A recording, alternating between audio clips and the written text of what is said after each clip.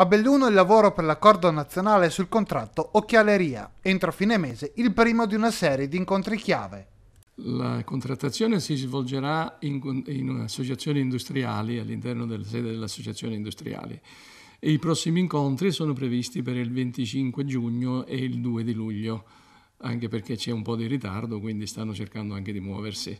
Si tratta di un'importante occasione per il bellunese dove sono concentrate la maggior parte delle aziende dell'occhialeria, aziende che hanno rilevanza non solo nazionale ma anche internazionale a causa delle joint venture che hanno fatto nell'ambito globale sia con i francesi sia con gli americani e con una mole di addetti ai lavori e di personale impiegato molto elevata a livello nazionale sono circa 17.000 e a livello locale probabilmente sono comunque la maggior parte eh, qui a Belluno.